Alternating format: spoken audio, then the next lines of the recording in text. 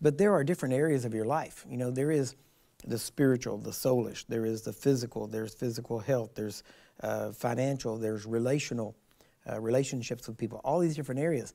If you are to make a list of every area of your life, even educational, every area of your life, you should make a list, and then you should put after that, I should abound in this area. I should abound in this area. Why? Because God wants you to abound in every area in a godly way, and so you should abound in it. if you do that, you would be experiencing the salvation in fullness of what God has for you. Now, okay, let's get let's get back to what actually happened when you got saved. Now, when Adam and Eve sinned, okay, we have to kind of go back to the beginning. It was a threefold fall. What does that mean? That means they fell in three areas spirit, soul, and body. It was a threefold disobedience, right? Which is why it was threefold sin. Now, in Genesis chapter 2, verse 17, God tells them, But of the tree of the knowledge of good and evil, thou shalt not eat of it, for in the day that you eat thereof, you will surely die. Notice this the day that you eat of the tree, that day you will die. So, but now we see them eat that tree, and then we see that Adam lived to be 930 years. So Adam did not physically die the day he ate of the fruit of that tree. So we know that he died, but he didn't die physically. We know he didn't die soulish in the sense that his soul ceased to operate. We know that, uh, but we do know that his understanding was darkened, but that was because the life in his spirit had ceased, and now the very essence of life in his spirit was the essence of death. So now it was sin and death in his spirit, and his spirit was contaminated, it was killed, it died. And because of that, it contaminated his soul and made him see things differently. It made him think differently. And so his soul, in that sense, um, was darkened, right? Now, we have to understand that the word die uh, or death does not mean to cease to exist. It simply means separation from something. For instance, if a person dies physically, then their spirit is separated from their body. When your spirit leaves your body, the Bible says that the body without the spirit is dead. And, and he's given the analogy that faith without works or faith without corresponding actions is dead, the same way the body is dead whenever the spirit leaves it. So we know that it's the spirit within that's the real us, and that's what gets born again. When you get recreated, when you get saved, you get born again, and that the, the spirit is what actually gets changed. Now, when your spirit gets changed, it gets recreated, life is put into it, it comes alive now, but it's with the life of God. Now, before, your spirit was still functioning. It was just functioning from a dead position. It was functioning from separation from God. And therefore, because it was separated from God, it was in alignment or connected to Satan. Now, notice here. uh, the day, it said that the day that they ate thereof, they would surely die. Their spirit died immediately, but their, now their soul rebelled, as I said, and their body went along with their soul. When Jesus redeemed man, he had to redeem all three parts of man. Now we can see this, and I'm giving you short, the, the short you know, study on this. so how did he redeem? He had, now um, remember, you're a three-part being. You are a spirit, you have a soul, you live in a body. And your soul uh, has different aspects to it. Uh, and your spirit has different aspects. Now, there is a point where your soul and your spirit are joined together and it takes the Word of God, only the Word of God is sharp enough to divide between soul or spirit. You got that? So the, in many cases, they are so much alike in some areas and that they blend together in many areas. Now, so first off, Jesus shed. Now we're talking about his redemption and how he redeemed man on a threefold part. First off, he shed his blood in the garden. And it said, remember, he had drop, he sweat drops of blood. And Isaiah 53 says, the chastisement of our peace was upon him. And this is talking about uh, his soulish aspect. So he shed blood for your soul in the garden. That was the first time he shed his blood. The second time he shed his blood was at the whipping post. And by his stripes, you were healed. That's physical healing. Now, the third part, or the third time he shed his blood, of course, was on the cross. And that was for the forgiveness of sins, that was for the uh, ability to be made right with God, and for that penalty to be paid. And so now that had to do with your spirit. So Jesus redeemed you, spirit, soul, and body. Now, we see, and here's the thing right now, our spirit is already changed, it's recreated. The life of God was put into our spirit when we got born again. But now notice, your soul and your body weren't changed. The minute, you know, you, maybe you went down front, now you could have got healed, right? But that didn't mean you never got sick again. And so, uh, you know, there could be a physical change to your body, but uh, that would have been just as a result of the salvation or of your faith in God at that time. But because, now understand, your soul uh, has been paid for. But now, uh, the Bible talks about us working out our salvation. It talks about this unto the saving of our soul. And so it talks about our soul being saved. So one of the ways we've heard this said before, I was saved, I'm being saved, and I shall be saved. Well, those are all good terminologies. We could say it this way. My spirit was saved, right? And so I was saved. Then my soul is being saved because by the renewing of the mind, my life is being transformed. So my soul is being saved as I renew it. And my body shall be saved in the sense that at a point in time, my body will receive glorification and become, and that's when he says that what is mortal will put on immortality, what is corrupt will put on incorruption. And so that's a point in the future. Now, now listen carefully, this is important. People say, well, then our bodies aren't saved. No, I'm, I'm not saying that. I'm saying that now we have the first fruits of our salvation, which is the Holy Spirit dwelling in us. And the first fruits in that area means that we have union with God in our spirit.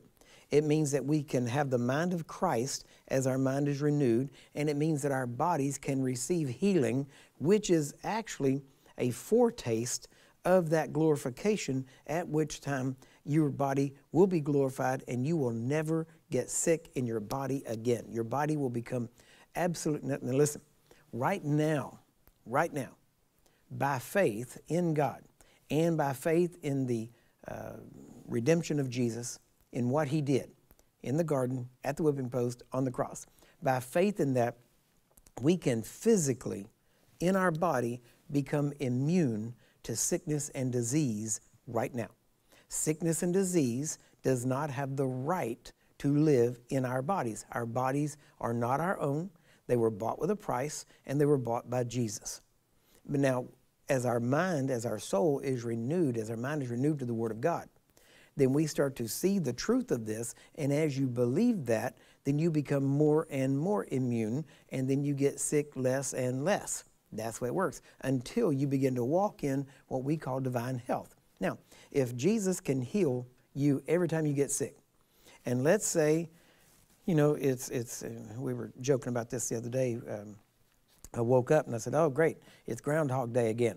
If you remember the movie Groundhog Day, uh, every day was the same, and, and, but he got to relive it and he learned every day and he got better and better. So, you know, take a hint from that. So if as you learn these things, as your mind is renewed to the Word of God, then you st- now, let me get back over to the part I was talking about healing. I don't want to get off that. If as you learn that healing is part of that redemption and that you can walk in divine health and that divine health is God's will, then you walk in divine health more and more. Now, if you know that every time you got sick, and let's say every morning, this is what got me on the Groundhog Day thing, every morning when you woke up, in 30 minutes, if you got sick, God would heal you, could heal you. You could have faith in Him. He could. So every day you could get sick and He could heal you. Right? Now that's not the way it would be in the afterlife, in, in, in eternity. That's not the way it's going to be when your body is glorified. At that point, your body won't even be able to get sick. Do you get that? Because your body will be glorified and become immortalized, and it won't even be able to get sick. But but while you're here, you can receive healing every day. And if you if every time you have faith in God, He will heal you, then you can actually walk in divine health by just believing right now He heals me, right now He heals me, this second He heals me, right now. That life that heals me at any time can keep me well. So, see, actually, you can walk in divine health right now as a foretaste of a time when you don't have to do that by faith. It will be a part of what you are because you've been glorified and immortalized. Now, in saying that, it is uh, one of the ways, and this is something that uh, I felt like the Lord spoke to me the other day. He said, faith is living now in the preview of eternity. See, everything we do by faith right now, all we're doing now in the, in the natural realm is living our life now the way it will be lived in heaven. I'm just using heaven as a term meaning after we leave this earth, okay? After we die, or whatever it is, or Jesus comes and gets us, whatever it is. So there is a, we're just living in a preview of that. In other words, what we can by faith receive now what we have, but whenever we're there, we won't have to do it by faith because we will have been glorified. Does that make sense? Now, hopefully you get this. Now, um, in this, see, right now, okay, let's say your spirit is saved the minute you accept Jesus' sacrifice and his substitution for you whenever you make him Lord of your life. Your soul is saved by the renewing of your mind. Now, remember, uh, Jesus even talked about a person that could, how bad it would be to gain the world but lose his soul. You say, what are you doing in exchange for your soul? See, your soul, uh, if, if, the more you walk according to the world, uh, Romans 12 tells us that we are to have our minds renewed to the Word of God and that we are not to be conformed to this world, but be transformed by the renewing of our mind, which means we're not supposed to be walking like the world. But the way you don't walk like the world is you have to have your mind renewed, which means if your mind isn't renewed, you're going to walk like the world. So, so your soul is saved by the renewing of the mind, right? Your body is saved from sickness or disease by faith in the stripes of Jesus, right? Now, your body has not received or experienced, let me put that away. Your body has not experienced full redemption yet. Why? But it will when it's glorified, like I said. When your body is glorified, you'll not need divine healing because you will automatically have constant divine health. Now, until then, you can receive divine healing by faith in God and in Jesus' sacrifice. When you know and walk in the truth of the Word of God concerning the salvation provided by Jesus, you can walk in divine healing on a second by second basis. Now, I've already talked about this. I'm just giving it to you the way I wrote it down. When you walk in divine healing second by second, then it's continuous, and that's called divine health. Now, so what happened when you got saved? We're right back to our question. Well, first off, you received the eternal life of God in your spirit. As you renew your mind, you allow the divine life of God in your spirit to flow from your spirit into and through your mind, your soul. Right? Now, the truth of the Word of God at that point begins to determine what and how you think and act. You get that? And the more God's life is in your mind through the renewing of your mind, the more God's word and will is lived out through your life. And that divine life flows through you. Now, the minute you got saved, okay, also known as born again. Now, from records in the Bible, we really only have Jesus talking about being born again once, technically, right? When he said, You must be born again. And that's the term everyone has kind of grabbed a hold of. And, and it's a good term. I'm not, I'm not dissing it, all right? Why? Why? Why is born again a good term? Well, because you should start living a brand new life, a brand new type of life in area, every area of your life. It's like you got born again into a brand new world, into a brand new way of doing things. See, this is how you're supposed to do it. Now, and so you should be, to be saved means to be saved out from something and saved to something. And that means be, you're born again. And it says when you're baptized, baptism, when you come out of the water, so to speak, you're to walk in newness of life as if you're a brand new creation, because you are. And now you're walking this new life, which should be totally patterned after the life of Jesus. Now, as far now listen carefully. As far as God is concerned, you were translated out of the realm, power, authority, dominion of darkness, and it no longer has any right or dominion over you as far as God is concerned. Now, as you renew your mind to the Word of God, it'll become as, as far as you're concerned too. But as far as God is concerned, that's not a problem anymore. Sin, sickness, disease, having authority over you, that's not a problem. In God's mind, that's not a problem for you anymore. He has already delivered you from that. Now, this is, now watch. As far as God is concerned, as soon as you were translated out of darkness, the Bible says, you were translated into the kingdom of God's dear Son, Jesus, right? So you went out of one kingdom into another.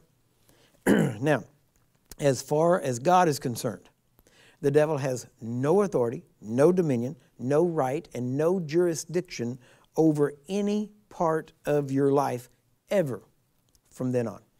You get that? Ever. So that means the minute you got born again, now you might not have heard this when you got born again, but the minute you got born again, you, as far as God is concerned, you never had to be sick again. You never, I mean, you, you name it. All these things. We're going to talk about it. Um, but now notice, it is then, once you're born again, as far as God's concerned, devil has nothing to do with you anymore.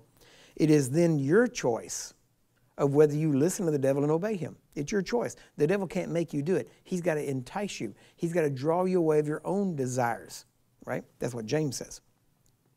As far as God is concerned, you never again have to be sick in mind or body. Now, sick in mind can be all kinds of what we know of as sicknesses, uh, but it can also be fear. It can be uh, worry. It can be uh, anger. You know, uh, these kind of things that, that go beyond uh, what should be. The moment you were, tr- now listen to this, this is big. The moment you were translated into God's kingdom, God transferred all the assets of Jesus's heavenly bank account, okay, over to you. Everything Jesus had, he transferred over to you the minute you got in the kingdom. I mean, the minute you came into Christ, everything got handed to you. Man, the rings put on, the robes put on, it's yours. Why? Because now you're a part of this family. Everything Jesus has, you have. You got that? Now, there's all kinds of scripture we could be going into. I just don't have time to do it. As far as God is concerned, you can and should function in every area just like Jesus would. Exact same thing, right? That means no sickness. It doesn't infect you, you infect it. You jump on it, it doesn't jump on you, all right? What you've got is stronger. Now, and not only does, does that, not only does it not have the uh, right to jump on you, but you have the right to attack it and kill it. Now, that means that you have the mind of Christ. That means no fear, ever, of anything. No fear, absolutely no fear. Why? Because you understand, know, and believe the love of God. We talked about this. That means no lack of any kind. That means no lack of power to get the job done, no lack of wisdom.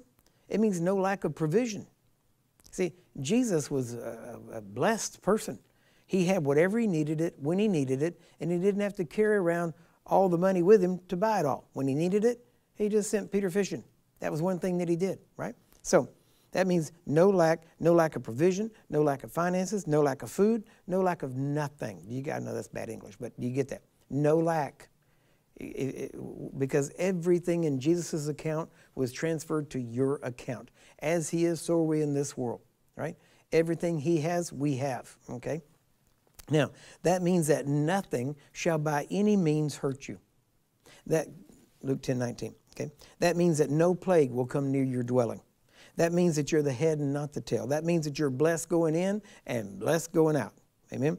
That means that every spiritual blessing was already transferred into your account the minute you got born again. Then you just had to find out what was there, right? There's times when you have to go to the bank and you have to uh, get a balance and you say, I need the balance on this account. Why? Because you have to find out what's in your account. That's what you do with this book called the Bible. This is your account. This was Jesus' account, but now it got transferred to you, so it's your account, but you've got to go in there and find out what's in your account. You got to find out what has been deposited to your account. So, that what does that mean? That means you're not waiting on God to heal you. That means He's waiting on you to know and believe and receive what is already in your account. See, It'd, it'd make no sense to sit at home and cry about not having any money in your pocket whenever you got money in your bank account and you just keep sitting there and never going in and getting any, any out. That people look at you like, why are you acting foolish? You got all that money in the bank, and yet uh, you don't want to go uh, get it out or whatever. You just won't go and get it out, but you got the money in the bank. Go, why are you crying about not having any money? See, it doesn't make any sense. But that's what Christians do. Oh, why won't God heal me? Oh, no, no, you got to understand. He's already done it. It's already in your account. He's just waiting for you to believe it and receive it. And when you believe it and receive it, you shall have it.